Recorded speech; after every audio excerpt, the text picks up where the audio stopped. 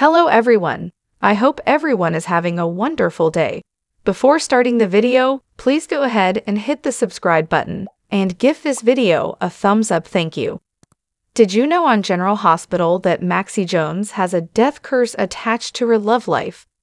Do you have any idea how many of her past partners and lovers died by violence? Check it out. This is the transcript of our General Hospital video on all the dead men left in a trail behind Maxie Jones. Does loving her come with a death curse? See all our show videos by subscribing to our YouTube channel.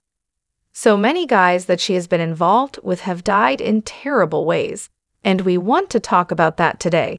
And we want to thank Twitter user Canadian Fuzzy, who gave us this idea in response to our Michael Corinthos death curse article which you can find here, because a lot of women he's been with have died. And Canadian Fuzzy said, Now do one on Maxie's curse. Her number is double Michael's lull. It's not quite double, but it is stunning, and you won't believe it. I'll tell you right off the top of the head there are seven men she's been involved with that have died. Three of them were cops, so they should just keep Maxie away from anybody who works because she is quite literally the kiss of death on General Hospital. So let's start with her very first boyfriend, Jess Beaudry, who was Lucky Spencer's partner. And way back then, he was played by Matt Marraccini. That's who played Jesse Beaudry, and they met when Maxie Jones was in the hospital for heart issues. And Jesse was on the run, hiding from the police. He had been framed. He was a police officer, but then he had been accused of this crime falsely, and so he lost his police privileges, and he was running around. But she fell for him and helped him hide out. And eventually, he got his badge back, and they fell for each other. Jess and Maxie were first loves. And while working with Lucky, Jesse was shot in the head and died. Despite brain surgery, he was declared brain dead. This happened from summer 2005 to spring 2006. And boy, Maxie was on a roll with guys that died that were in her life. And that was the first one, Jess Beaudry. Now, let's dig into the next one. Cooper Barrett, played by Jason Gerhardt. She referred to him as Coop instead of Cooper. He was her next love. She lost Jesse in spring 2006. Then in January 2007, Cooper Barrett came on the scene and he lasted a year before Maxie's death curse struck again on General Hospital. He was an Iraq War veteran who became a police cadet. He was Sonny Corinthos' inside man. Sonny placed him into the cadet program so that he'd have somebody at the General Hospital, so that he could keep his mob activities away from the police. Now, Maxie first met Cooper when he was a hostage taker. He was one of the people who stormed the Metro Court back in the day. He was masked and using the name 3. Then Maxie unmasked him and saw how hot he was and helped him get away. This was back when Maxie was a very devious bad girl. She soon found out Three's real name was Cooper Barrett, whom she called Coop. Next, she helped him cheat his way into the academy, which she knew he was doing at Sonny's behest. But he had died of an apparent suicide. That was how it came out because he was facing accusations that he was the text message killer. And then he was found hung to death. And so people assumed that was a guilty action, but it wasn't. In fact, the real text message killer had faked his hanging. And if you remember way back then, the real text message killer was Diego Alcazar. So poor Coop was her second dead cop boyfriend. Logan Hayes was the next guy to come along and his run was March 2007 to July 2008, and Logan was played by Josh Duhon. He was another Iraq War veteran who worked for Sonny, and he was actually a friend of her prior dead boyfriend, Coop. So, Maxie and Logan and Cooper had been blackmailing Scotty Baldwin on General Hospital.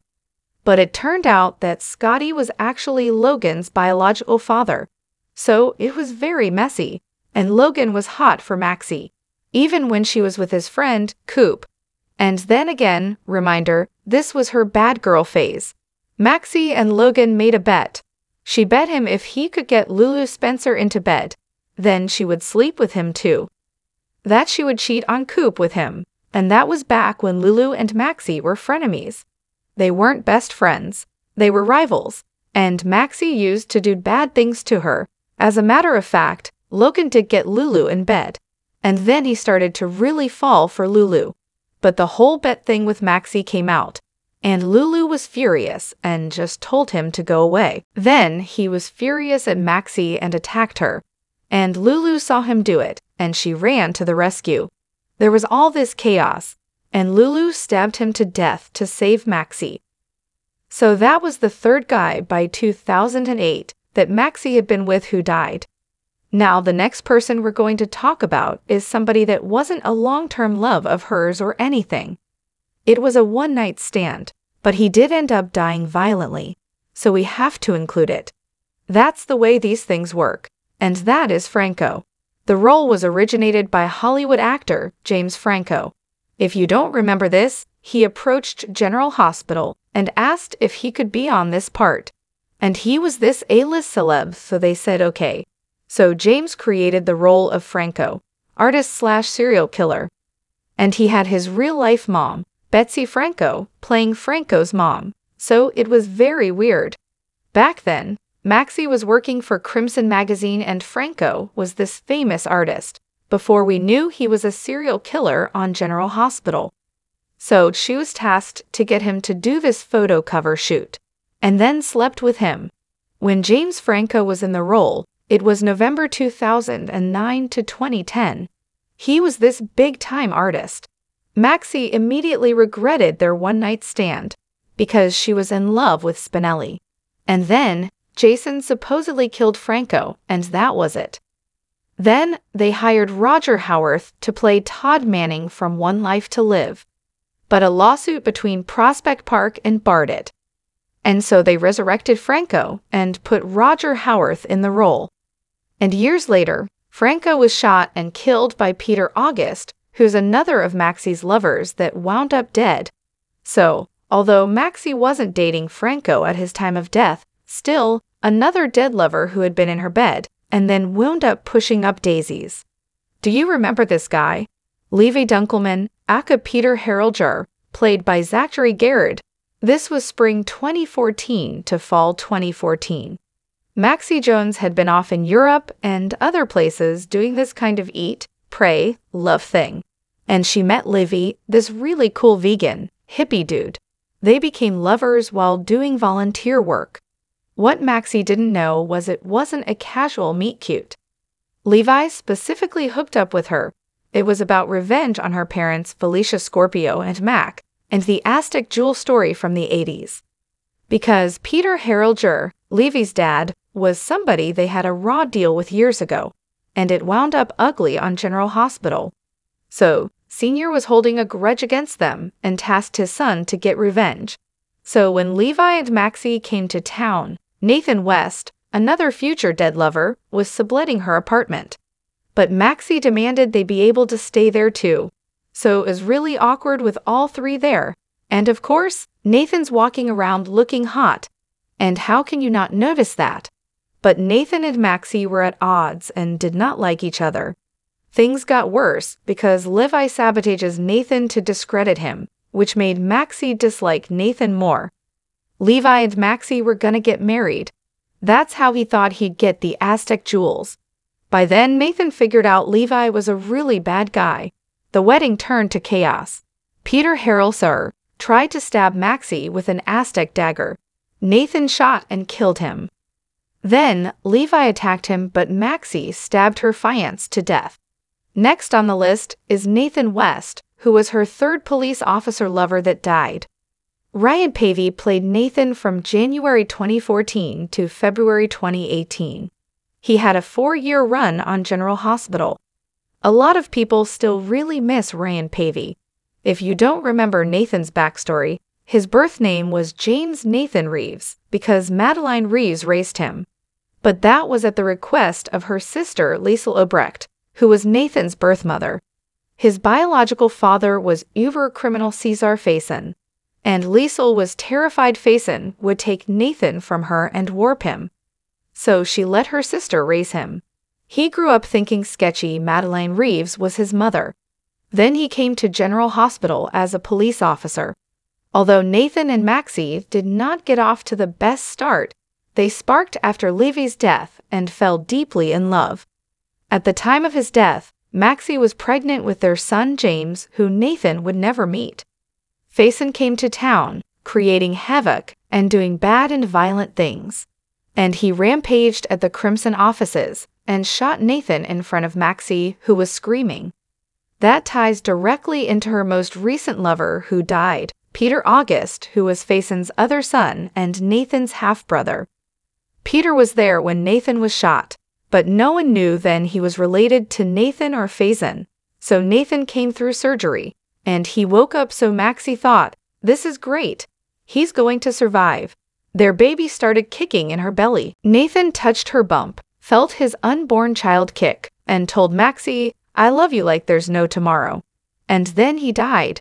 Maxie Jones' most recent fatal romance is, of course, Peter August, aka Henrik Faison, who was Nathan's half-brother.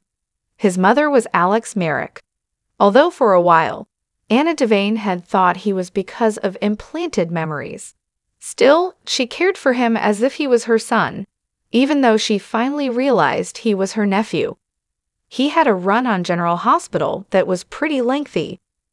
Wes Ramsey played Peter from November 2017 to his death in February 2022.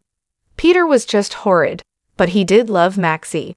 They got closer after Nathan died when she was pregnant with Nathan's son. Recall, Peter was with her when she went into labor in the car, and Peter who delivered her baby, so she really gave him the benefit of the doubt. They bonded and she fell for him. But he was evil, truly Faison's son, down to his black heart. He lied and deceived everyone about who he was, why he was in Port Charles and his agenda. When Maxie finally figured out he was bad, she was pregnant by then. He's the father of her daughter, Louise, and he went completely insane. So Maxie convinced him the wicked nurse he hired to watch her stole their baby right after she gave birth.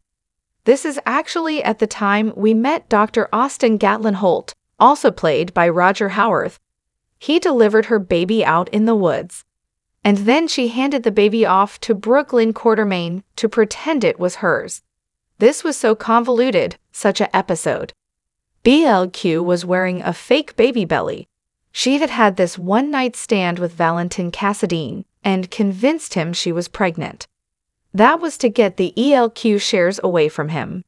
So it was a dual-purpose plot where Maxie was able to place Louise with BLQ she could still see her and convinced everyone that the crazy nurse Peter hired took the baby and ran. But the nurse was dead in a pit in Nixon Falls. Maxie tricked her and the bad chick fell to her death. And Peter really wanted his baby but could not find her. Then, once he figured out Louise was hiding in plain sight, all hell broke loose. Towards the end, Peter actually died twice and almost a third time. He poisoned Harrison Chase, brother of Dr. Hamilton Finn, and Finn and Peter had a confrontation on the roof of General Hospital, and Peter threw the antidote away. Then Finn threw Peter down a flight of stairs, and he and Liz Webber thought the guy was dead. They chumped him into a freezer, but when they finally came back around to dispose of the body, it was gone. Brad Cooper also poisoned him, but he survived that too. But then he died for real, and the question was, how did he die? Well, he completely snapped. He was going to kill Maxie Jones. But her mother Felicia whacked him upside the head. He might survive with medical attention. But Anna Devane sat there at his side, so he wouldn't die alone. But she let him bleed out from that head wound. And that is the seven guys who died as part of Maxie's death curse. She does have a higher death count of ex-lovers than Michael, but it's not double. Thanks for watching this video. Please subscribe to our General Hospital Update news channel and stay with us.